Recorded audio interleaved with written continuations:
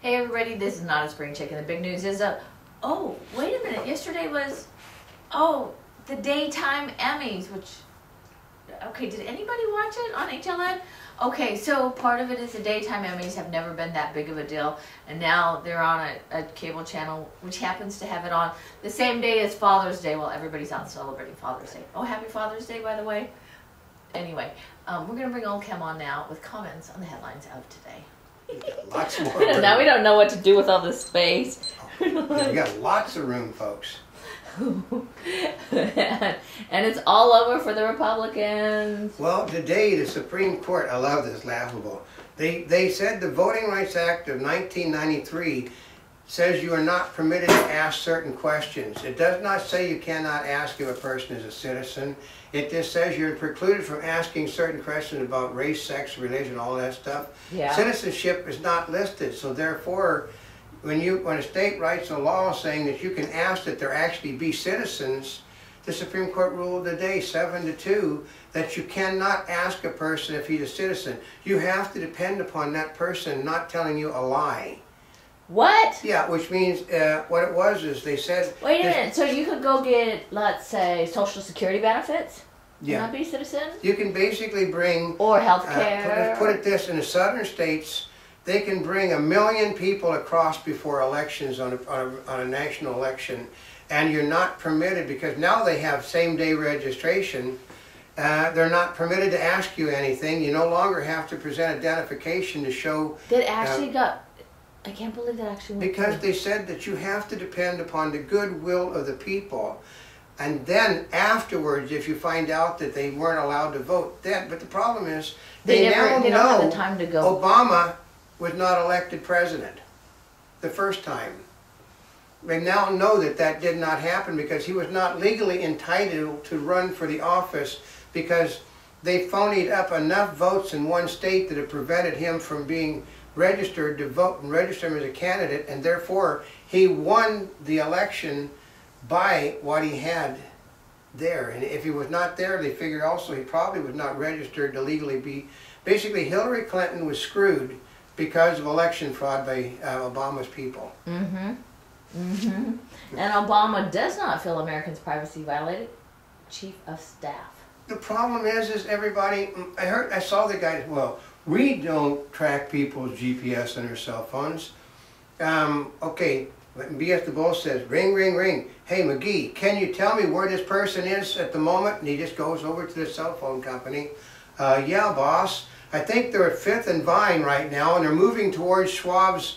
Uh, that's how easy it is because the phone company, your GPS on your cell phones and everything are turned on 24 hours a day. You do not take a movement without the cell phone company knowing where you're going. And by statute, that information has to be publicly available to law enforcement.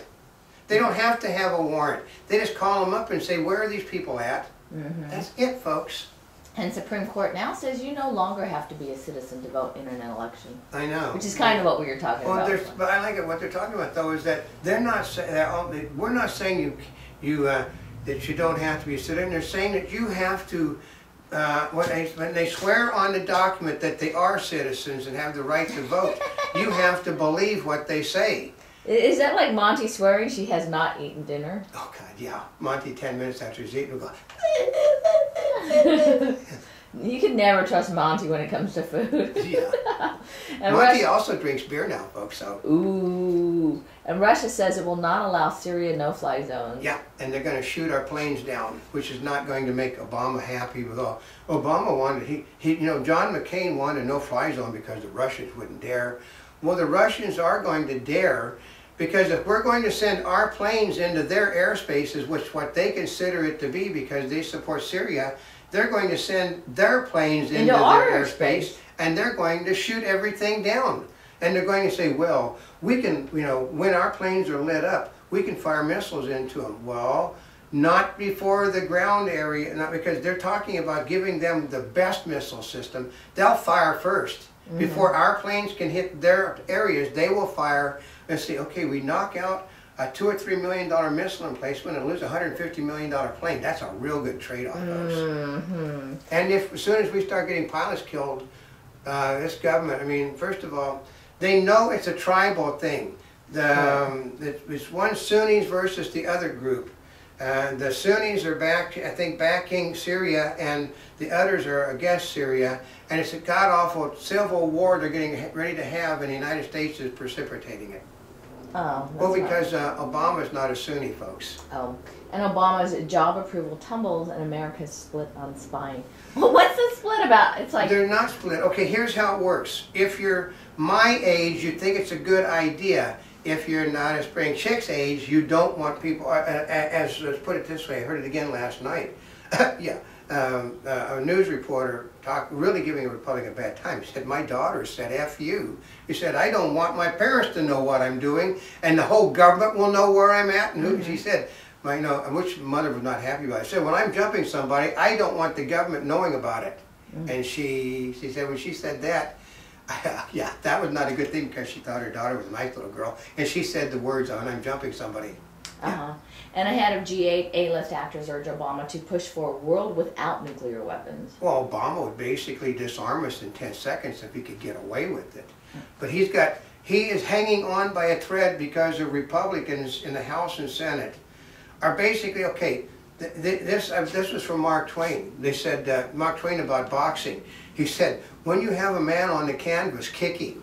I know. I love Mark Twain. When you have a man on the on the canvas, kick him. So, and Republicans are basically supporting, the, keeping this guy in office when he's basically they got him on the run. The Democrats want to remove him, and it, because they are hung up on his program that's out of control. uh, What it is, too, you have to remember. The Republicans that support it are in their 60s and 70s and 80s.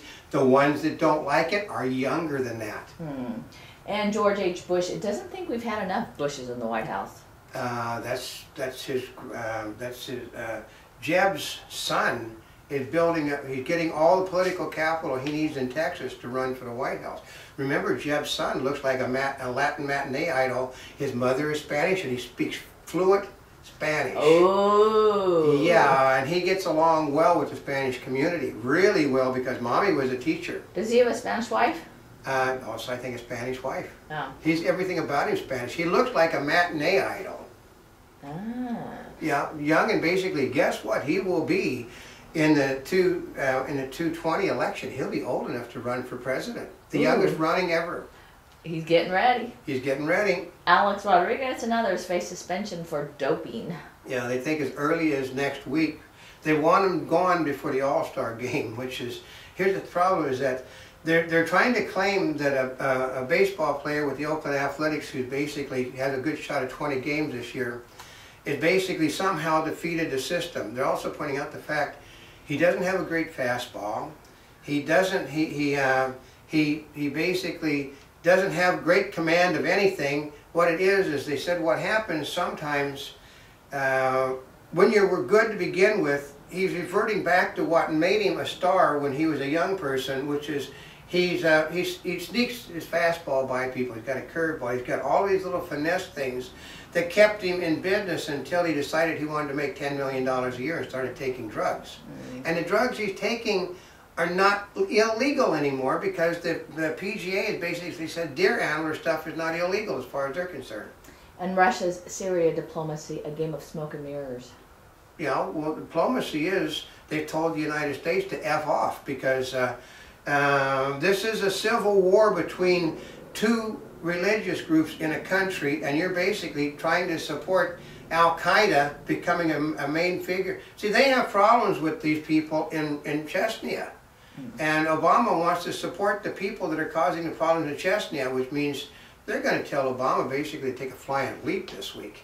And North Korea proposes talks with South on commercial projects. Well, yeah. What happens is anytime you do something with North Korea, North Korea takes the takes the lets you put your money into it and then kicks your butt out. Mhm. So that's not a smart thing to do. And Syrian rebels lose strategic town and boost for Assad. Uh, yeah, that and that's the whole thing. Okay, the uh, Assad basically controls the country, which is why they're in. Well, we've got to have a no-fly zone to prevent him from. Uh, and then the United States, well, we're going to give him small arms. Well, since the other guys are getting heavy-duty stuff from the Soviet Union and China, and, and from Iran, you're screwed, folks. and a Monty Bubbleism from the Mark Twain of the Animal Kingdom. Oh, and, and this is another one from Mark Twain. There's only one fool bigger than a politician, and that's the person that elected him to office.